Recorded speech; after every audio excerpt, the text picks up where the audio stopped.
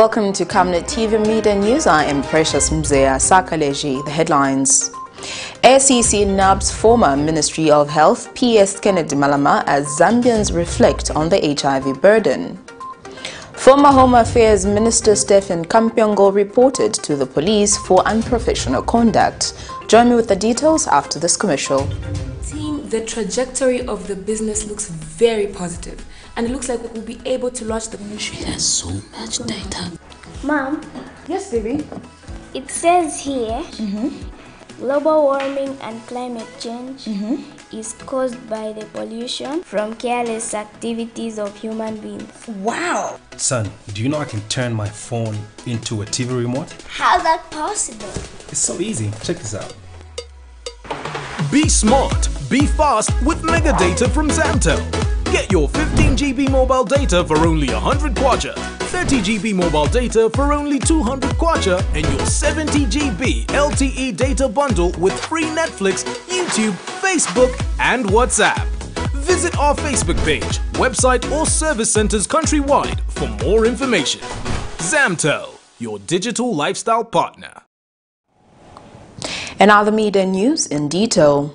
Lusaka province has recorded the highest human immunodeficiency virus infectious, currently at 15.1% against 11% countrywide, with the majority being the youth.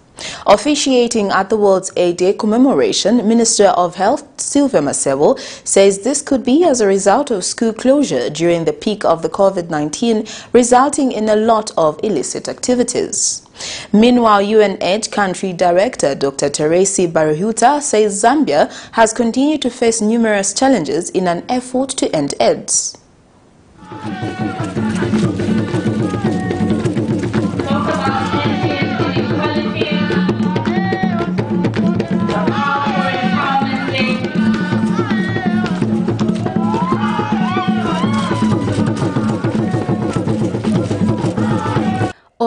Wednesday, 16th June 2021, former President Edgar Chagwalungu, through the Secretary to the Cabinet, directed a number of heightened interventions to further prevent the spread against COVID-19 in the country. Amongst them, pre, primary, and secondary schools were closed for 21 days. Inasmuch as this measure was so that the learners are safe from COVID 19 third wave, a lot of young people saw this as an opportunity to engage into immoral activities which could have resulted into unwanted pregnancies and a rise in HIV and AIDS infections. At the commemoration of World AIDS Day, Minister of Health says Lusaka has recorded the highest HIV and AIDS infections, currently at 15.1% against 11% countrywide, with the majority being the youth. to address and discrimination, other inequalities which drive the HIV pandemic. We need to address unequal access to information, human rights violations, gender-based violence, socio-economic and social behavioral barriers, as well as punitive laws and policies as they perpetuate the HIV pandemic. Our achievements are commendable. Less people are dying. Less babies are being born with HIV. But we cannot afford to have an increasing number of new infections. And UNAID country director says Zambia has continued to face several challenges in the effort to end AIDS. numerous challenges in efforts to end HIV as a public health threat by 2030. With, with 1.5 million Zambia living with HIV, Zambia is one of the hardest hit countries in the region. And despite reaching those important milestones in national HIV response, we shall see that 40% of new infections are unfortunately coming from the young people and adolescents. This against the backdrop of a rise of teenage pregnancies due to the school closure experienced during the COVID that we have observed. Meanwhile, United States Embassy Chargé d'Affaires says the US government will continue working with government in combating AIDS in Zambia. United States government, through the President's Emergency Plan for AIDS Relief, or PEPFAR, has long invested in reaching the most vulnerable to HIV. We believe that addressing stigma and discrimination is essential to attaining and maintaining HIV epidemic control. We will achieve this goal together by preventing new infections those who are living with HIV on life-saving treatment. Blessings Chakwila, Camnet News, Lusaka. A concerned citizen has reported former Home Affairs Minister Stephen Kampyongo to the police for allegedly failing to curtail unprofessional conduct by some police officers during the time he was in office. Speaking to Camnet TV after reporting the matter to the Lusaka Central Police on Wednesday, Mr. Sheldron Mwemba states that it was under the watch of Mr. Kampyongo that the house of Mr. Hakainde Hichilema was broken into and ransacked by police when he was arrested on treason allegations in 2017. Mr. Mwemba says if nothing is done about it, this will set a precedent of harassing opposition members on political grounds. Concerned citizen says restoring professionalism to the police service not only hinges on ensuring that the rule of law is upheld going forward, but by also ensuring that past crimes are prosecuted. Mr. Chadron Mwemba, who is a concerned citizen, was speaking when he visited Lusaka Central Police on Wednesday. He has officially reported former Minister of Home Affairs Mr. Stephen Kampyongo, who was presiding over the police during the time that President Hakainde Hichilema was allegedly harassed and his house broken into when he was being arrested for treason allegations while in the opposition in 2017. The concerned citizen says there is need to set an example in order to stop harassment of opposition political opponents. So as a bona fide citizen of Zambia, I have seen that it is very important for we to set the record straight because ministers in office today should learn from what happened in the previous a minister standing up giving orders, Inspector General of Police giving orders which are wrong, operating outside the constitution of Zambia, where you have innocent citizens arrested. Mr. Mwemba has also reported other political officials for alleged harassment of citizens during the 2021 election campaign period. The second case is involving Edith Nawakwi, where she was, uh, uh, you know, uh, handling the Hatembo case, using them against the same Hakainde Hichilema. This citizen suffered so much. We understand that Hakainde Hichilema himself has forgiven these people.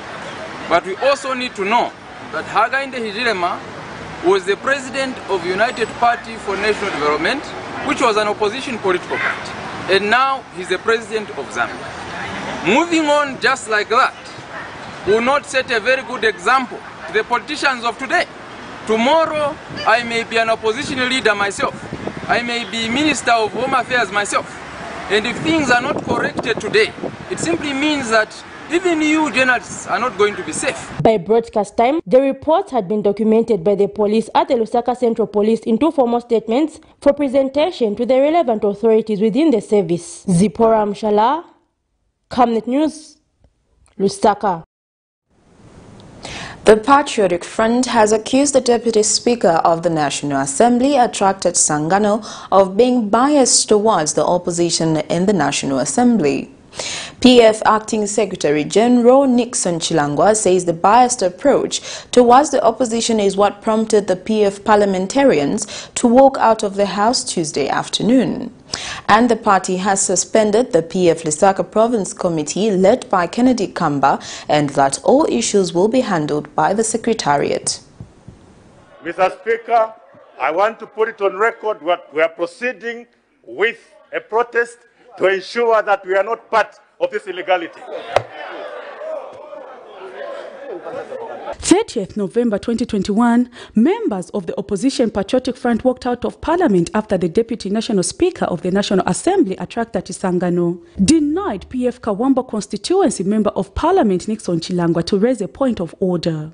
And PF Kawambwa constituency member of parliament Nixon Chilangwa, who is also acting secretary general of the party, has accused the deputy speaker of being biased towards the opposition PF and says parliament is meant for debating important matters and not sidelining the opposition from raising points of orders. Colleagues on the right, they stood on four or five points of orders yesterday and they were granted those, point, those points of orders. I wanted to stand on a point of order yesterday and I was denied that point of order. When I protested, I was chased out of that house by the second deputy speaker. That's unacceptable.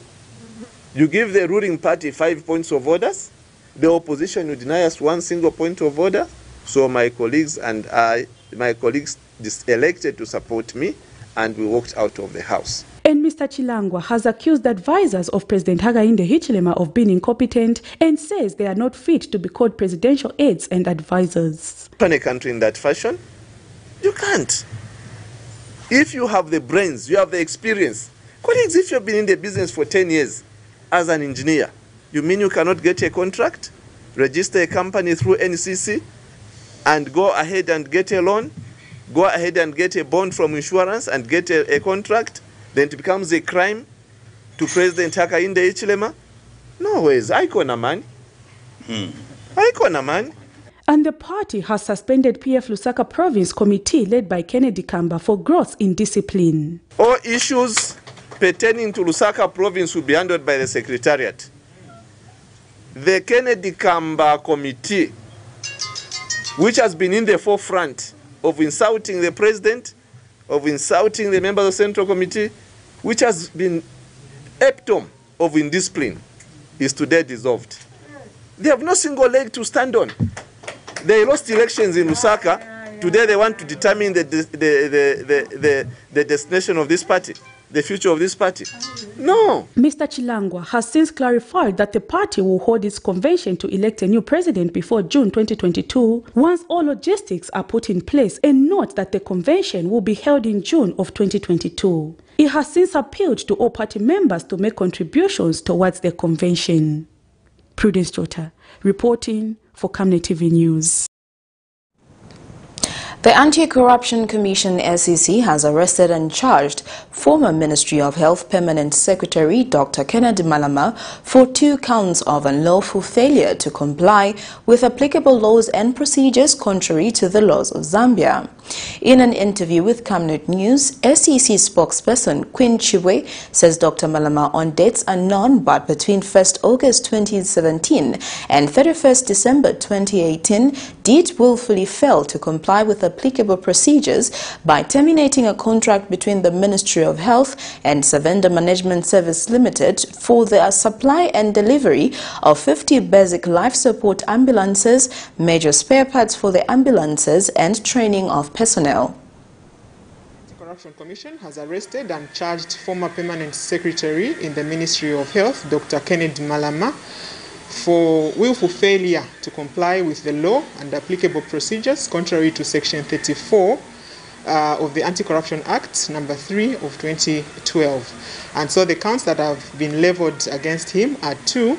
And in the first count, we see that Dr. Malama, who's aged 53, of Ibex Hill, Lusaka, between August 1st, 2017 and, and December uh, 31st, 2018, uh, in Lusaka when he was employed in the Ministry of Health as permanent secretary in charge of administration, jointly and whilst acting together with others unknown, uh, did willfully fail to comply with applicable procedure by terminating a contract between the Ministry of Health and Savenda Management Services Limited for the supply and delivery of 50 uh, basic life support ambulances and the supply and delivery of major spare parts for the same ambulances as well as the training of personnel.